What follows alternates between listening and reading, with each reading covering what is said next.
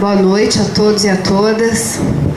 É uma honra estar aqui com essa mesa tão representativa, com esse plenário tão representativo, para trazer o nosso apoio, a nossa solidariedade ao Marcelo Freixo.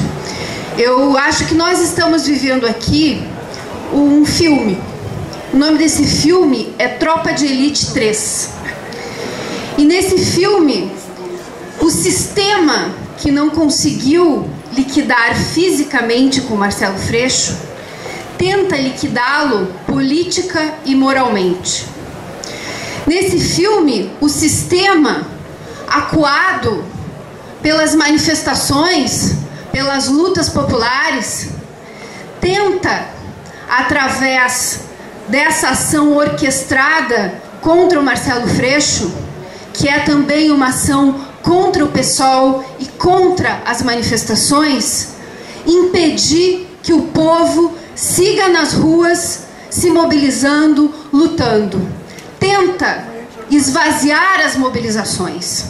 Tenta fazer com que as pessoas tenham medo de ir às manifestações.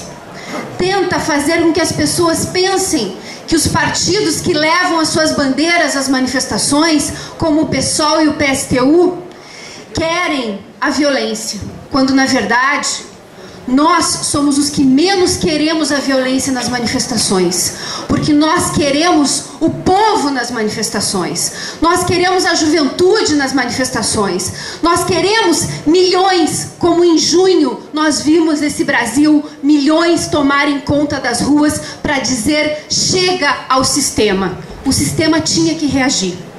E isso não é à toa que escolheu Marcelo Freixo como alvo desta oportunidade de reação que se apresentou por uma trama absolutamente vazia montada pela Rede Globo, que sem dúvida nenhuma é a maior representante, é o maior partido do sistema.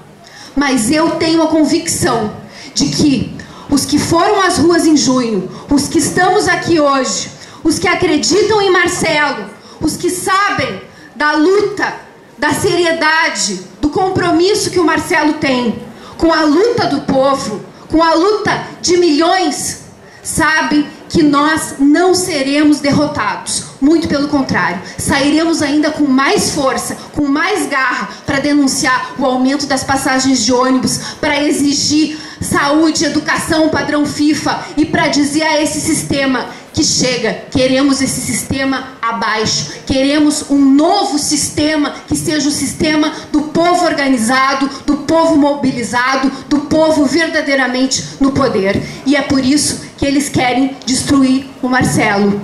Não conseguiram destruí-lo e não conseguirão, porque nós todos não deixaremos. Muito obrigada a todos vocês que estão aqui hoje. Muito obrigada ao Freixo representa. Muito obrigada a ti, Eduardo, Julita, que organizaram esse ato. Caetano, Ivanis, vocês estão.